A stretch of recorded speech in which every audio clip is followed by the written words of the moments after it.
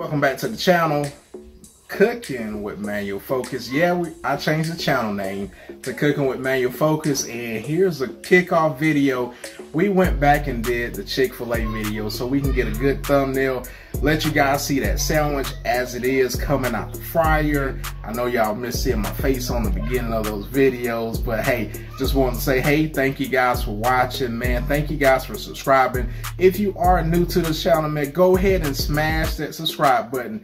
Hit that thumbs up. Finish watching this video. Right, so we back. So a lot of recipes, the recipe doesn't hit until you got the sauce in there. So we're back making another sauce and this is going to be a Polynesian sauce.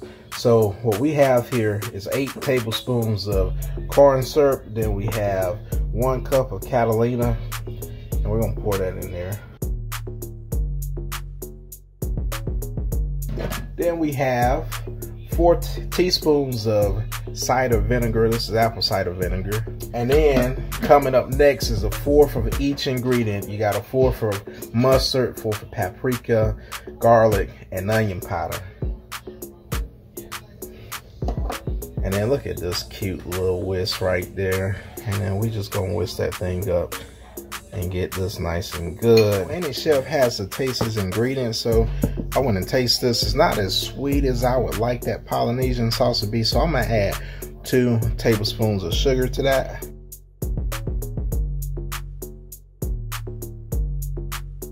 All right, let's get to my superstar here, and that's that chicken breast. So what you want to do is get your nice sharp knife and you're going to fillet this chicken breast in half. And the reason why you want to do that is because you want to get even cooking on that chicken breast. You don't want to have one side done, one side raw. You want to have that thing evenly cooking. So let's get into the marination part of the process. Get your plastic bag. You can get your bowl. But what you're to do is you're to add two cups of pickle juice into it and the reason why you're adding pickle juice, this is going to tenderize that chicken because our whole goal is to have some nice tender chicken. And then you're going to add a quarter of a cup of water into that mixture. Now you're going to add your chicken breast into that mixture, close it up, and it's going to marinate for at least an hour. All right, we're about to create this bread mixture. We got one cup of flour, half teaspoon of smoked paprika, then we're gonna put in there a teaspoon of pepper, chili powder, half teaspoon of salt and baking powder. And then finally, we're gonna hit it with three tablespoons of powdered sugar. You're gonna get that thing a whisk. Make sure those ingredients are nice and mixed in, as you see me doing here with my cute little whisk. And now we got our stations, two stations. Our wet station is one cup of milk, one large egg. And what you want to do in this process, you're going to do a little double dipping. You're going to dip it in that milk and egg mixture. Then you're going to put it in your flour.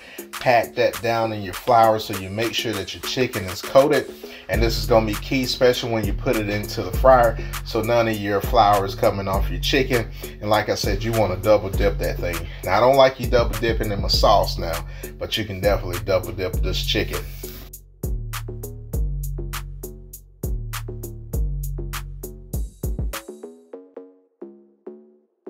All right, you're gonna let these chicken breasts rest for at least 10 minutes so that flavor can infuse like we always say.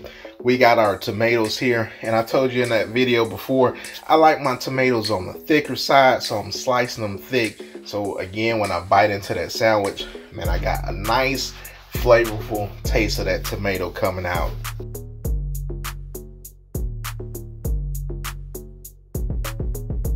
Green leaf lettuce, man. If you're going for presentation, always hit that green leaf lettuce and you're gonna cut it with a green, mix that white part of that stalk. So you got nothing but a green, vibrant look with that green leaf lettuce. So like I said, if you want to go for presentation, go for that green leaf lettuce. All right, we're getting our fryers ready. Preheat that oil up to 350 degrees like we always do with these recipes. Now you're putting that filet into that grease and you're gonna let this cook until it's golden brown. Hey guys, I just wanted to show you guys, man, look at that oil. You got some clean oil and that look at man look at it right there man it's gonna come back up perfect just how we like it and you about to see it right here coming up, man. Here we go. Golden brown. Like I said, seven to 10 minutes. You're going to bring that bad boy up just like so. And I just had to show you guys just how good that thing looks coming out the fryer. So I'm gonna pick this thing up so y'all can see it for yourselves on this big screen here. Look at that right there. Nice filet. And then, you know, we had to go with that bacon, man. You can't go wrong with bacon.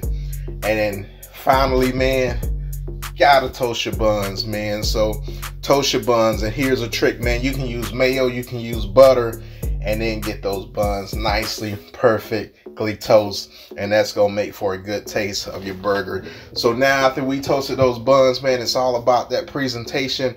We got that mayo, and then now we're coming back and landing with the pickles. Let me tell you, man, some of those restaurants are are stingy with those pickles and this is why we're doing it at home man we can put however many pickles we want to put on there and like I said about that presentation you got that green leaf lettuce coming back on it look at that vibrant green color and then we got those thick tomatoes right there coming on top of that Next, we got our slices of bacon because we had to make this a 2.0 sandwich for you guys. And then here's the whole start of this, that copycat sandwich right there. And you top that bad boy off with his hat and you got it. 2.0 copycat sandwich right there. All right, so there you have it. The Chick-fil-A copycat sandwich 2.0. Here we go right here with the Polynesian sauce. Look at that, man. Look at that. And you got the waffle fries, man. It's like a whole meal right there. Mm. That's good. Right out of that. Mmm. That's good. So if you're new to the channel, smash that subscribe button. And I appreciate you guys watching. Again, this is only the beginning. And we'll see you guys later, man. We about to have a little mukbang up in here. Peace.